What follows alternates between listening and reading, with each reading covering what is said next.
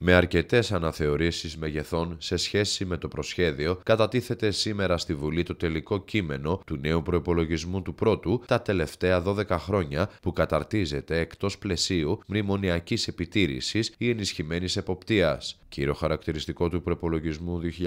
2023 είναι η επιστροφή της οικονομίας σε πρωτογενή πλεονάσματα, ενώ μεγάλο στόχο αποτελεί ανάκτηση της επενδυτικής βαθμίδας εν μέσω ενός ασταθούς διεθνούς περιβάλλοντος με υψηλές αβεβαιότητες Βεβαιότητε και μεγάλη μεταβλητότητα. Ο πύχης για τον πληθωρισμό ανεβαίνει πιο ψηλά σε σχέση με το προσχέδιο, ενώ χαμηλότερα τοποθετούνται οι προβλέψεις για την ανάπτυξη. Αμετάβλητη παραμένει η πρόβλεψη για έκτακτο αποθεματικό της τάξης του 1 δισεκατομμυρίου ευρώ για τη χρηματοδότηση νέων μέτρων στήριξης νοικοκυριών και επιχειρήσεων προκειμένου να αντιμετωπίσουν τις επιπτώσεις της συνεχιζόμενης ενεργειακής κρίσης. Η αναπτυξιακή επίδοση της οικονομίας το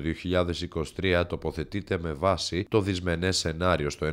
1%, ενώ για φέτος εκτιμάται στο 5,5% έναντι πρόβλεψης 5,3% στο προσχέδιο, με το ΑΕΠ να διαμορφώνεται πάνω από τα 210 δις ευρώ το 2022 και στα 220 δις ευρώ το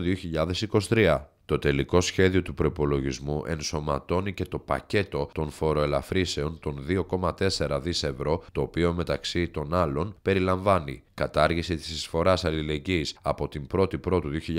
2023 και για τους εργαζόμενους στο δημόσιο και τους συνταξιούχους όλων των ταμείων, τη διατήρηση των μειωμένων ασφαλιστικών εισφορών, την κατάργηση υπό προϋποθέσεις του τέλους επιτιδεύματος, την αναστολή του ΦΠΑ στις νέες οικοδομές, την αναστολή του φόρου υπεραξίας της αγοροπολισίας ακινήτων, τη διατήρηση της φοροέκπτωσης για την ανακαίνιση ακινήτων έως το τέλος του